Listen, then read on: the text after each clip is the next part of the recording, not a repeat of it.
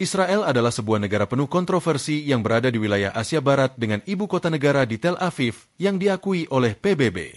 Namun menariknya, pemerintah Israel tidak menganggap Tel Aviv sebagai ibu kota negaranya, melainkan Yerusalem.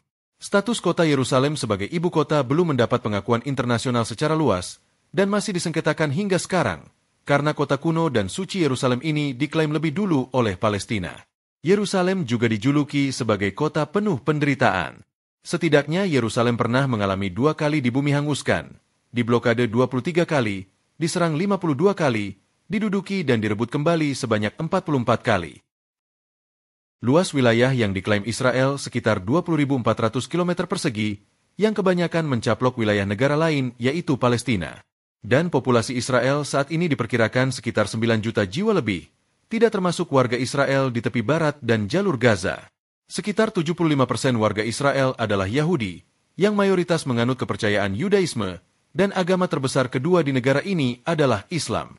Bagi orang Yahudi, tanah ini dikenal sebagai tanah perjanjian dan dianggap sebagai tanah air bagi orang Yahudi. Sejak memproklamasikan kemerdekaan di tanah negara lain pada 14 Mei 1948, Israel secara perlahan telah menjelma sebagai salah satu negara adikuasa dengan perekonomian yang tangguh dan memiliki teknologi paling maju di dunia. Dan sejak saat itu, Israel menghidupkan kembali bahasa Ibrani yang telah mati selama ribuan tahun. Konflik dengan Palestina dan negara-negara tetangganya telah menjadi isu besar sepanjang sejarah Israel. Keamanan negara telah menjadi prioritas tinggi di sini, dan ini terlihat dalam infrastruktur dan gaya hidup sehari-hari masyarakat. Tidak heran, warga Israel diwajibkan mengikuti wajib militer, di mana seorang pria selama 32 bulan dan wanita selama 24 bulan. Namun, komunitas Arab Muslim dan Kristen biasanya tidak diwajibkan. Amerika Serikat adalah negara yang paling konsisten mendukung negara Israel dalam banyak hal. Pada awalnya, alasan Amerika Serikat mendukung Israel adalah karena mereka melihat Israel sebagai alat yang berguna untuk menahan pengaruh Uni Soviet di Timur Tengah selama Perang Dingin. Namun kedekatan hubungan kedua negara ini semakin berkembang mencakup berbagai dimensi, mulai dari bantuan militer, dukungan diplomatik, hingga kerjasama ekonomi dan teknologi. Banyak perusahaan Amerika memiliki hubungan bisnis yang kuat dengan perusahaan Israel, terutama dalam bidang teknologi dan militer. Perusahaan teknologi besar Amerika seperti Google, Microsoft, Intel, dan Apple memiliki pusat riset dan pengembangan di Israel. Israel juga sering menjadi laboratorium teknologi militer Amerika yang dapat diterapkan dalam skenario perang nyata di kawasan yang penuh konflik. Amerika Serikat sangat diuntungkan dari kolaborasi ini dan sering kali menggunakan teknologi Israel untuk kepentingan militernya sendiri. Begitu pula dengan Israel sering berbagi informasi intelijen dengan Amerika tentang ancaman-ancaman di Timur Tengah. Selain itu, kelompok lobi Yahudi seperti American Israel Public Affairs Committee atau AIPAC juga memiliki pengaruh besar terhadap kebijakan luar negeri Amerika Serikat yang pro-Israel, termasuk kebijakan tentang bantuan militer, diplomasi, dan veto resolusi anti-Israel di PBB. Banyak politisi Amerika Serikat, terutama di Kongres, juga bergantung pada dukungan dana dari kelompok-kelompok lobi Israel ini. Israel memiliki perekonomian campuran yang sebagian besar berbasis pada jasa dan manufaktur. Israel saat ini masuk dalam kategori negara maju. PDB-nya yang besar mencapai 525 miliar dolar Amerika, membuat Israel berada di peringkat 28 negara dengan perekonomian terbesar di dunia. Selain di bidang ekonomi, mereka juga sangat maju dalam hal harapan hidup, pendidikan, pendapatan per kapita, dan indikator indeks pembangunan manusia lainnya. Meski begitu, indeks persepsi korupsinya di sektor publik masih di angka 62, yang tergolong biasa-biasa saja menurut standar global. Mata uang Israel adalah shekel, yang jika dikonversikan ke rupiah, satu shekel sama dengan sekitar 4.000 rupiah. Israel dikenal sebagai salah satu negara dengan tingkat inovasi teknologi tertinggi di dunia. Negara ini menjadi rumah bagi banyak startup teknologi, terutama di bidang keamanan siber, agrikultur, dan kecerdasan buatan. Banyak perusahaan teknologi global seperti Waze, Mobile, dan Fiverr berasal dari Israel. Negara ini menempati peringkat ke-13 dunia dalam hal jumlah publikasi ilmiah per kapita. Israel juga merupakan salah satu negara dengan tingkat pengajuan paten per kapita tertinggi di dunia. Bahkan terdapat sekitar 140 teknisi dan ilmuwan untuk setiap 10.000 karyawan. Tidak heran, jika orang Yahudi sering kali disebut sebagai orang yang memiliki kecerdasan yang tinggi. Dalam kurun tahun 1901 hingga 1962 saja, 16 persen pemenang Nobel Science adalah orang Yahudi seperti Albert Einstein. Tokoh penguasa teknologi lainnya keturunan Yahudi seperti CEO Microsoft Steve Ballmer, co-founder Google Sergey Brin, dan pendiri perusahaan komputer Dell, yaitu Michael Dell, serta CEO Facebook Mark Zuckerberg. Selain itu, meski menghadapi keterbatasan sumber daya alam yang sebagian besar wilayahnya berupa gurun, namun Israel mampu menjadi pemimpin dunia dalam teknologi pertanian, seperti teknik irigasi tetes dan desalinisasi air laut. Sekitar 90% air bersih di Israel merupakan hasil daur ulang air laut dan limbah. Di tengah keterbatasan lahan yang subur, bahkan Israel mampu mengekspor produk pertaniannya, dan itu semua karena kemajuan teknologi pertaniannya. Saking hebatnya, para ilmuwan Israel juga pernah dikabarkan berhasil menanam benih kurma yang berasal dari abad ke-6. Benih kurma tersebut dipercaya telah berumur 2000 tahun, dan dikenal dengan nama kurma Yudea. Bibitnya ditemukan di dalam toples pada tahun 1963 dan berhasil ditanam pada tahun 2005. Sebagai negara maju yang penuh konflik, sudah pasti berpengaruh terhadap kehidupan sehari-hari masyarakatnya.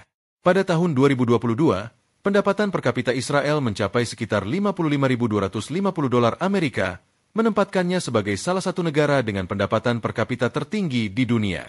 Gaji rata-rata warga Israel pada tahun 2023 adalah sekitar 12.000 hingga 14.000 shekel Israel per bulan, atau sekitar 47 juta rupiah hingga 55 juta rupiah, tergantung nilai tukar.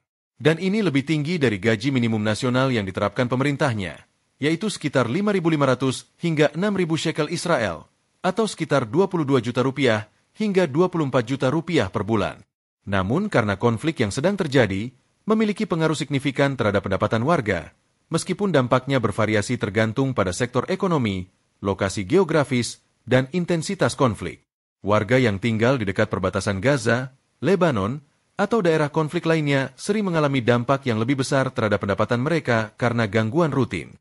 Petani yang tinggal di dekat wilayah konflik sering menghadapi kerusakan tanaman atau pembatasan akses ke lahan mereka. Hal ini juga memengaruhi pendapatan mereka secara langsung.